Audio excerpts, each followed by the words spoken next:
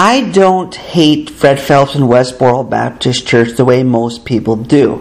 One of the biggest reasons for this is because I actually have identification with them. I'm not a homophobic person, so that's not my identification. I'm not a fundamentalist, that's not my identification. I'm not a Christian, that's not my identification. Like them, I have a lot of venom in me, and I have manifested it in the ways they have.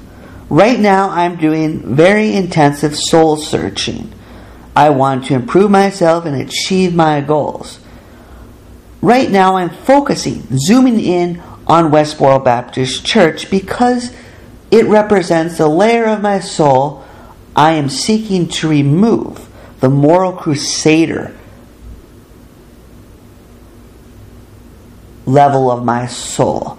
This level of the soul is ineffective and it prevents me from getting what I want. I see myself in Fred Phelps and Westboro Baptist Church, thus I can't hate them.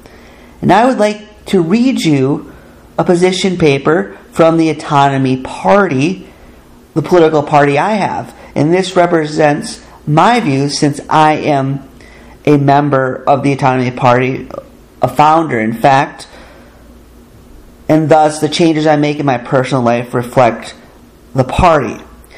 As you can see, I have some of the same themes as Fred Phelps does, and this was before I even cared two wits about Fred Phelps. I talk about how you're either 100% against abortion and alcohol or 100% for it, and those who are not doing anything about it are the opposite. Take a close look at what I write and see the comparisons and this is why I need to change. I want to be an iconoclast, a revered iconoclast. And a moral crusader is not a revered iconoclast. This is from my book, Abortion is Murder, which extreme views against abortion I no longer agree with, though I am certainly pro life still. I don't find this particular way to argue a case to be effective. There's something wrong with it, and because it resembles the way Fred Phelps argues about things, it really shows me the problem. Part E, the awful Supreme Court.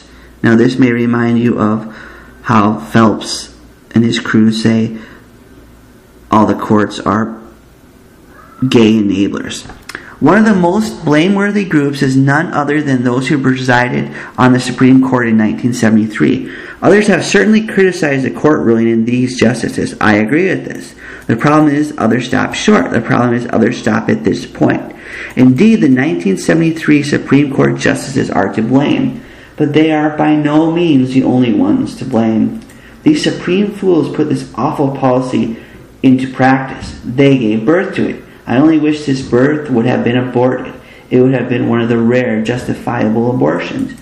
We cannot forget all those who make it happen today. This book details all those who do.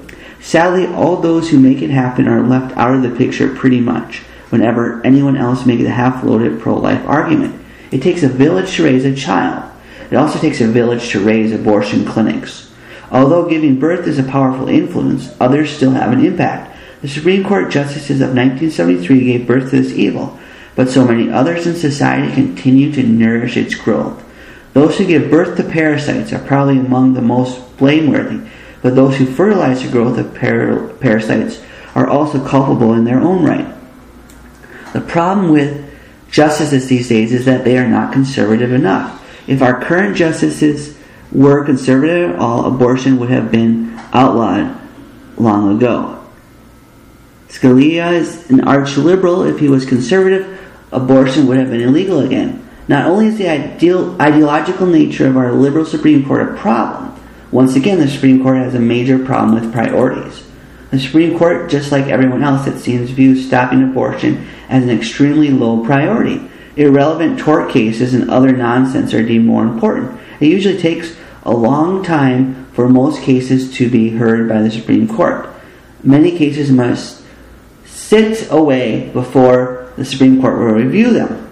Hair becomes gray and teeth fall out before many important cases that deal with pressing constitutional issues are heard. But one case involving a dispute between two ultra liberal losers, Gore v. Bush, is pushed to the front of the pile, while pressing concerns of social justice are forced to wait years before they are finally heard. The Supreme Court should have let the ultra liberal losers wait and have tried more pressing cases, especially those that could overturn Roe v. Wade. The unborn are rarely considered in the dealings of the Supreme Court.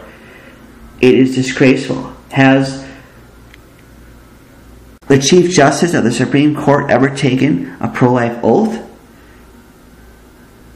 Has the Supreme has the Chief Justice ever required associate justices to take pro life oaths? No. Such a fact proves how liberal and pro choice the current Supreme Court is. I do believe that all justices of the Supreme Court should be required to take pro life oaths. If a justice refuses to take a pro life oath, can we really trust him or her? Do you want someone who foams at the mouth and drips blood from her or his hands to be on the Supreme Court? The Supreme Court sets the standards for other courts. The Supreme Court should thus require pro life oaths. Hopefully, if the Supreme Court does this, then the inferior courts would follow. Imagine how wonderful the ripple effect could be.